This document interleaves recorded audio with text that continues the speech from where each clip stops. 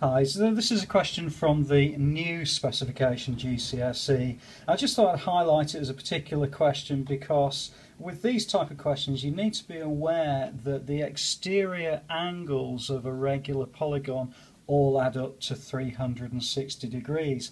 So what we mean by that, let's say that we've got a pentagon here Okay, now if we extend these edges, these lines, each of those uh, is the exterior angle.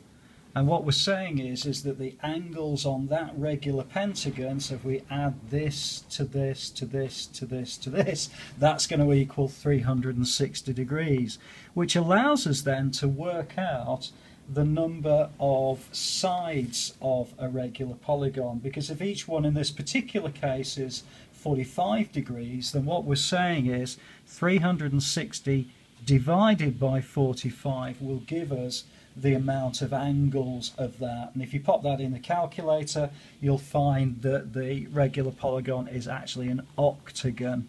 So what we're saying is it's got eight sides. I can't draw this particularly well on the screen, but I hope that's going to work out all right for you. That 360 divided by 45 is 8, so each of these external angles is actually 45 degrees. Okay, I hope that's okay for you. Please do have a look at the rest of the questions in this specimen paper, and I look forward to seeing you inside the next video.